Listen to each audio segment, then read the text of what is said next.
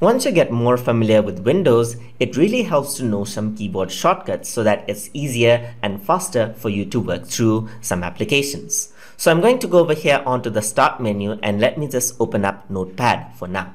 So over here, there's some uh, ways to actually uh, do things over here. So you can go to file, you can go save everything out over here, or you can close uh, the application by pre pressing this icon right here called close right here. Let me just go over here and type in something and let's say I want to save my document.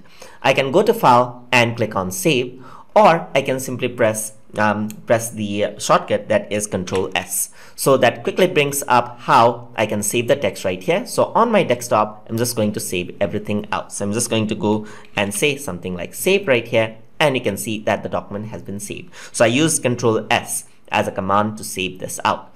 Another command that you may want to use is to close an application. So I am going to press Alt F4, which is how you can close out application in an instant. So there are different shortcuts that you can remember by just going on to the file menu of each of the application right here. So whatever application you use, you can see that Control N is listed here. It stands for new, Control O for open, Control S uh, for save and Control P for print right here. Similarly, you get a lot of shortcuts right here, which you uh, which depends on different applications. Whenever you're working, let's say you type in a sentence, just for example, like this is a sentence right here. So you type in something like a sentence right over here, and you want to copy and paste this. So what you can do is you can select out um, now this sentence right here, press Ctrl C, that copies everything out on a clipboard. That is, the computer remembers them for you. So you can go over here, press Enter, and press Ctrl V, and you can see that this is pasted.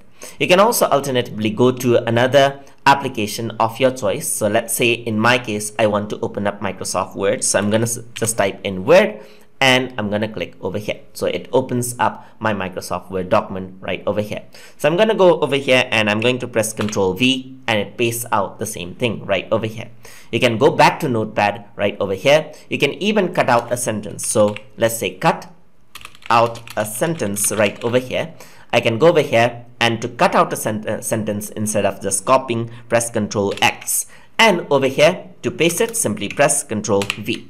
So just like this you can rearrange out everything in different applications. But over here if you want to switch between applications just like this. So you can see that there are a lot of applications here. So in my case there's two. Also my recorder uh, app is open. So if you want to just change out I can simply press Control Tab right over here. So Alt Tab right over here, and you can see that this is how it works around. It's like this. So you can see my two editor windows, and you can uh, work around with this as well. So you can go over here, and that works around, uh, works down to open up uh, the notepad for you. You can press Alt Tab and then you can go to document and that's how you can switch between apps as well. You can also press Windows tab so that actually brings out everything out as you can see right here and yeah, you can just go to the app you want. So Windows tab gives you that option right over here.